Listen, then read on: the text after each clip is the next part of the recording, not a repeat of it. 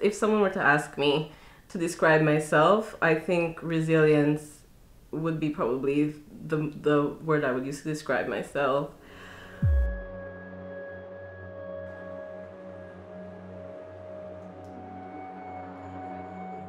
My name is Bre Laville. Um, I moved here from the Caribbean when I was like nine years old.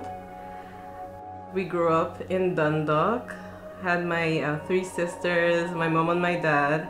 Life was interesting. It was a big change for us. So I felt from that moment on like I had to kind of become very self-reliant and independent yet be someone very strong for my sisters and for my mom and my dad.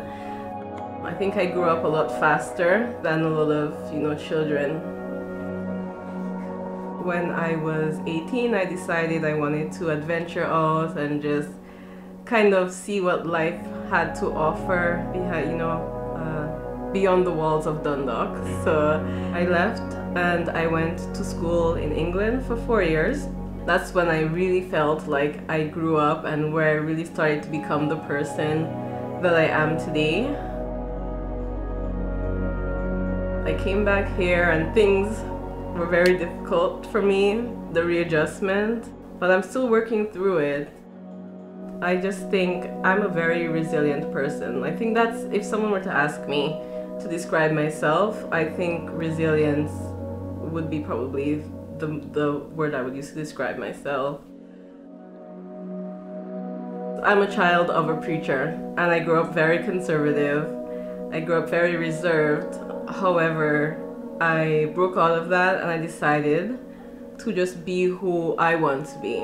I decided to follow freedom, to follow, you know, what I thought was best for me, to follow my intuition. Um, and so now you see me here with the bold colors, you know, you see me just kind of breaking all of what a lot of people think should be, you know, a girl of my color and of my age and of, you know, whatever, I feel like being a dark skinned black woman in America, I should be maybe a little bit more reserved with myself. I should maybe be a little bit angrier with the world for, you know, the cards that, you know, the hand that I've been given. However, I'm someone I still believe even though the world might see me in the bottom of the totem pole, I still believe I'm incredibly powerful. I'm someone who's actually very introverted and has a lot of social anxiety. Um, I've opened up myself through social media, um, especially to share who I am, to share my life, to share my deepest thoughts and feelings with people all around the world. You know, I have people who follow me from countries I've never heard of, little small countries, you know, in Africa, and they'll message me fully in French and I have to like translate it. Um, you know, and people from Brazil and all these places, and they just reach out to me, and you know, we talk about so many things that they may have felt alone in. I open myself to them because I think a lot of people do feel alone and they feel afraid to talk about these things, you know, deep inside. Um,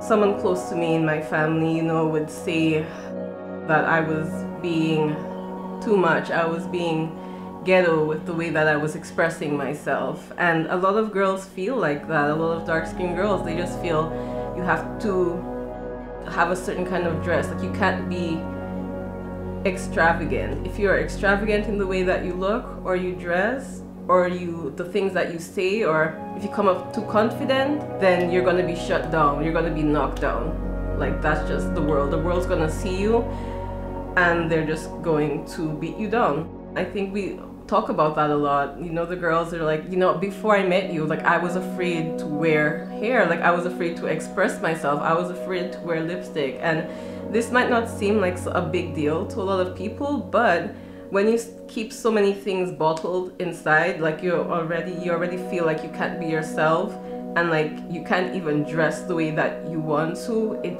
it eats at you and it makes you feel very small.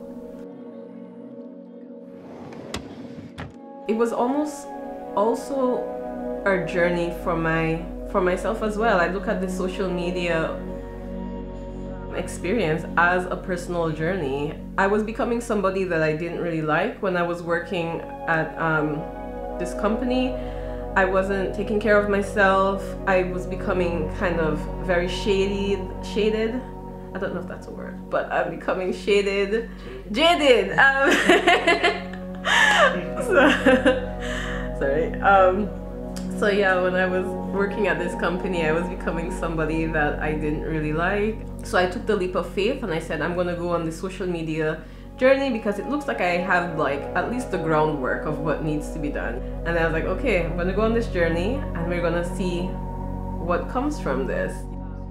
I didn't know it was gonna take so many years, you know, to get to the, I guess the person that I wanted to be, but I've accepted like so much of life is the journey and not really getting to the destination. So I've really learned to enjoy it. I don't know if this is going to be a long term thing for me. The my goal in life, my purpose in life is to make other people feel happy, to make them feel valued, to make them feel strong and beautiful. So I feel like right now, ah, sorry, I'm crying. yeah. Hmm.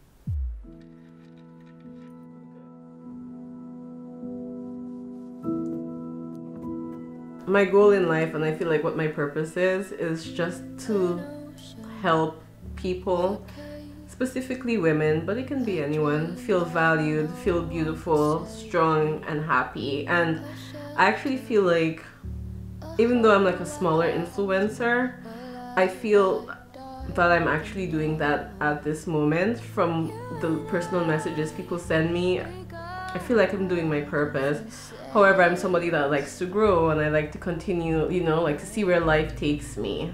Before I met my husband, I was planning to move to Korea to teach English because um, I love traveling and it's really interesting. Even though I'm an immigrant to this country, I'm still looking for my home.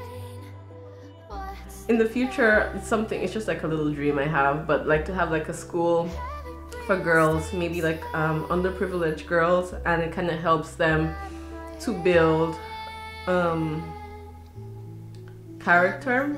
Helps them to you know build confidence helps them to build some things that you they might not get from home but it's like a safe place a place that just empowers them. So that's something that i would love to do. I would always love to go back to the caribbean and um, do something along the lines if it was if i were to work with like younger children it would be involved in sports and team building and just anything that empowers people and that kind of gives them that strength they need to like really face this world.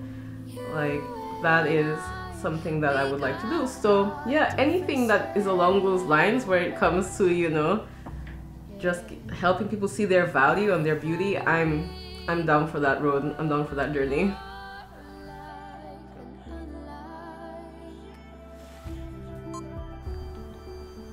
Hi, I'm the Bold Bre. it's